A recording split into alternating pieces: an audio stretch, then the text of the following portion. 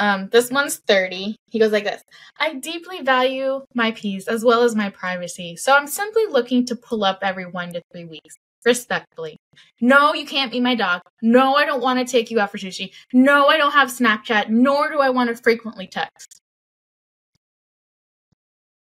I mean, just hire uh, someone who does that for a profession, and they can every one to three weeks you can put that up. Schedule an appointment.